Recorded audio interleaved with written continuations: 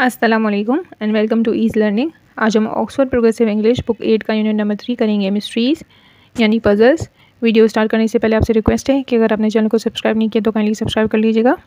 आज का हमारा टॉपिक है mystery stories in the news तो चलें स्टार्ट करते हैं। नीचे दिए गए दोनों पज़ल स्टोरीज़ हैं, जो हाल ही में रोनुमा हुई थी पढ़िए इन सबूतों को, दोनों केसेस में सीसीटीवी कैमरा इंस्टॉल थे ताकि पता लगाया जा सके कि एग्जैक्टली क्या हुआ था और यकीनन सच को डिस्कवर यानी ढूंढ लिया गया। लेकिन इससे पहले कि आप पढ़ें इसके बारे में तो आप देखें कि कैमरे ने क्या ढूंढा होगा, क्लास में इस चीज़ को डिस्कस करें और इसका क्या हल हो सकता था, इसके बारे में भी आप सोचें या डिस्कस करें। पर्श कहते हैं लैंडेड को, ऊँचे वॉसगस पहाड़ों पर, जो कि ईस्टर्न फ्रांस में है, वहाँ एक पुरानी रिलीजियस बिल्डिंग यानी मोनेस्ट्री है। दो सालों से वहाँ एलेवन हंड्रेड से ज़्यादा कीमती और पुरानी बुक्स गायब थी। इस रिलीज़, ये रिलीजियस बिल्डिंग है, जहाँ एक लाइब्रेरी है, लेकिन यहाँ टूटने का कोई निशान नहीं था। लॉक्स को भी तब्दील कर दिया कर दिया गया था, और दरवाज़ों को स्टील से री इन्फोर्स यानी मज़बूत कर दिया गया था, लेकिन फिर भी किताबें गायब हो रही थी। शक की फ़िज़ा बढ़ गई थी। मॉन्ग्स यानी रिलीजियस मेंबर जो वहाँ काम करते थे, वो सोच रहे थे कि कौन चोर है और वो कैसे अंदर आ सकता है। आपके ख्याल में ये किताबें कौन गायब कर रहा था? मिस्ट्री टू में बता रहे हैं कि लंदन के साउथ में बेटरसा डॉग होम है। ये सबसे बड़ा घर है, नापसंद, नापसंदीदा डॉग्स का, ब्रिटेन में, जहाँ इनकी देखभाल की जाती है, जब तक कि उन्हें नया घर ना मिल जाए। एक महीना हुआ था जब वहाँ का स्टाफ डॉग को खाने देने आया। सुबह में तो उन्हें पता चला कि डॉग्स के केजेस अनबोल्टेड यानी अनलॉक थे। हालाँकि वो डॉग्स अंदर ही थे। और खाना गायब था और किचन बहुत फैला हुआ था गंदगी से। स्टाफ कन्विंस हो गया, यानी मान गया कि वहाँ कोई भूत है, यानी घोस्ट है।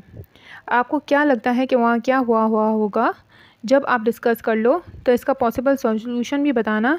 नीचे दी गई न्यूज़ को पढ़ें और देखें कि आप सही थे या नहीं। न्यूज़ टू डे में इस मिस्ट्री के बारे में लिखा गया। मोनेस्ट्री, यानी रिलीजियस बिल्डिंग, जिसकी एंड, यानी बाउंड्री पर सीसीटीवी ने ज़ाहिर किया, इस चैलेंजिंग यानी डेयरिंग थीव को। कल कोर्ट में, जो कि एलिस ईस्टर्न के फ्रांस में है स्टेंसल्स घूसी ने, जिसकी उम्र 33 ईयर्स है, वो स्टैंडबर्ग में इंजीनियरिंग स्कूल में टीचर है, जिसे सज़ा सुनाई गई थी एटी मंथ्स की, क्योंकि उसने बलगैरी यानी इलीगल काम किए थे। घूसी ने कहा कि उसे वहाँ कीमती किताबों का शौक़ लेकर गया। और उसने इस, इन किताबों को लेकर अपने छोटे से स्ट्रेस बॉक के फ्लैट में, जहाँ बहुत सारी किताबों के वॉल्यूम थे फिफ्टीन सेंचुरी के, वहाँ डाल दिया। कुछ वुडन कवर के साथ थे, जिनका वज़न किलो में था, और वो उन सारी किताबों को अपनी किताबों पर, अपनी बाईसाइकिल पर लेकर जाता था। घूस को एक खोया हुआ मैप मिला था मेडवल टाइम पीरियड का, यानी जब डार्क एज पीरियड चल रहा था यूरोप में, उस टाइम का। पब्लिक आर्चिव यानी ऐसी जगह जहाँ पर डॉक्यूमेंट्स रखे जाते हैं मेंटेन किए जाते हैं, जो जिसको पब्लिक भी देख सकती है।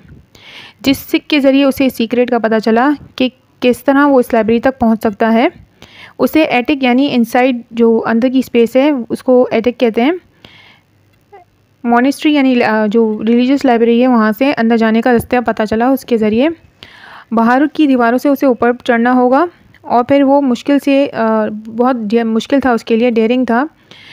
एक्सटीरियर बजाय एक्सटीरियर जो बाहर की दीवारें थी, वो बहुत स्टीप थी, यानी बहुत फ्लैट थी तो उन पर जो फ्लैट होती हैं, बिल्कुल स्ट्रेट होती हैं, उस पर चढ़ना ज़रा मुश्किल होता है। कम जगह थी सीढ़ी के लिए भी, और फिर वहाँ से सीक्रेट चैम्बर में जाया जा सकता था। वो चैम्बर ऐसा बना हुआ था कि उसके साथ फाइव डोर्स थे, जो लाइक कबर टाइप थे, और वो लाइब्रेरी की तरफ़, अंदर की तरफ़ खुलते थे। उसी बहुत सारे घंटे गुजार देता था इन बुक्स को पढ़ने में, कैंडल लाइट की रोशनी में और फिर सूटकेस को वापस ले जाता था अपने फ्लैट में जहाँ वो उन्हें एहतियात और सफ़ाई से रखता था। उसने अपनी डिफेंस में कहा कि वो जानता था कि जो कुछ वो कर रहा है वो गलत है, लेकिन उसे लगा कि इन किताबों पर मिट्टी और पीजन की ड्रॉपलिंग थी जिसे नज़रअंदाज किया गया, यानी जो लाइब्रेरियन थे उसका ध्यान नहीं रख रहे थे। सीसीटीवी में पुलिस ने देखा घूस ने तीन सूटकेस फिल किए थे कीमती किताबों से और फिर उन्होंने उसे पकड़ लिया जब वो रस्सी से नीचे उतर रहा था रिलीजियस बिल्डिंग के बाहर की तरफ़ से। उसे 11,835 पाउंड का फ़ाइन लगाया गया लेकिन मोनेस्ट्री के लाइब्रेरियन ने कहा कि उसे अपनी जॉब यानी टीचिंग जॉब कंटिन्यू करने दें और उसे इनविटेशन भी दिया कि वो जब चाहे लाइब्रेरी में आ सकता है तब से वो लाइब्रेरी के फ्रंट डोर से ही अंदर दाखिल होता है। हो के आता है और वहीं पे लाइब्रेरी में किताबें पढ़ता है। होप आपको अच्छे से समझ आया होगा। अगर आपको वीडियो अच्छी लगती है तो काइंडली लाइक करें शेयर करें और सब्सक्राइब करें। जजाकल्ला।